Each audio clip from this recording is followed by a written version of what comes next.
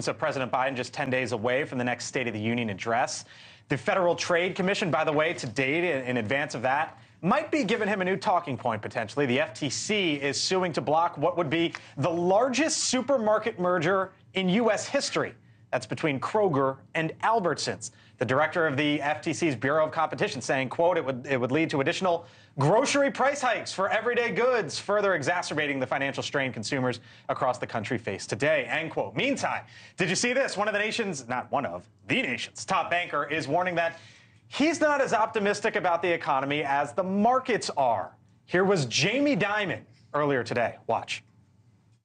So when people talk about, you know, the market is kind of pricing a soft landing, that may very well happen, but, you know, the odds at 70 or 80%, I would give them half of that, that's all. We may very well have one, but I think there's, there was also a higher chance in the market thinks of rates being a little bit higher.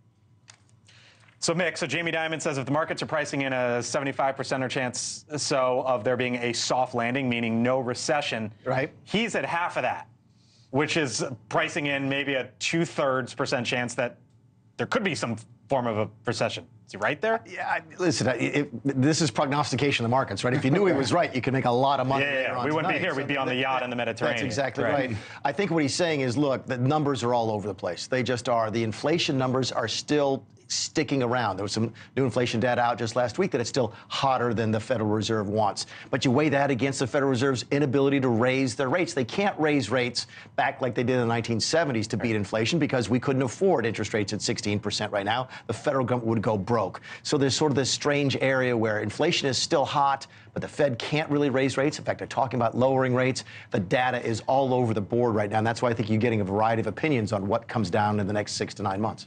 If this happens, if he's right, that ain't good for your guy. It ain't happening. Two years ago, they were they were uh, prognosticating that we were going to be in a recession and inflation was going to be twice as high. So inflation I mean, was transitory for a while too. Yeah, uh, that's true too. I can see that. I can see that. So they've all been wrong all over the place. I think the big deal here is Jamie Dimon. When people when people hear Jamie Dimon, they listen to him. Yeah. And he's also in that interview start talking about. I know you're going to talk about this. Talking about the uh, merger okay. between these credit card companies. Yeah. So Discover and uh, Capital One. Exactly. And Democrats are already saying no block. So we saw the Biden administration say, let's block this supermarket deal. Yep. Mm-hmm. Now there's a possible conglomerate credit card deal. Here was J- Jamie Dimon on that too. Watch. Look, I, I think companies should be allowed to do and innovate and grow and merge and try to challenge things. I think that's good. So I think it's a mistake to act like it's bad. It's good for competition. In fact, some we I think they should allow some of these smaller banks to merge. If that's how they, they think they can best compete with JP Morgan, you should let them. It may not work in every case, but they, you shouldn't predetermine that. You should let the market uh, predetermine that. And you got Democrats coming out today basically pushing back on this idea of, of, of a merger. Democrats hate mergers. I, well, I know, and, and that's why I bring up the, and, the Kroger thing. And, Repu- and, Republicans Let do them too. compete. Do they really? Okay. Yeah, Josh Hawley and the other sort of they hate everything. populist. They, yeah, they're, they're against it. this is a story about Joe Biden paying a price for uh, appeasing his left wing in the early going of his administration. He hmm. appointed a woman named Lina Khan yep. mm-hmm. to run the FTC. And Lina mm-hmm. Khan is an enthusiastic radical. She's an Elizabeth Warren. She's she's a very, very, I'm sure the youngest person to ever lead the FTC. And she brings this super aggressive approach. Here's the problem. That merger, that grocery store merger, mm-hmm. uh, the argument that it would raise prices is that it would raise prices in the long term. What would it do to food prices in the short term?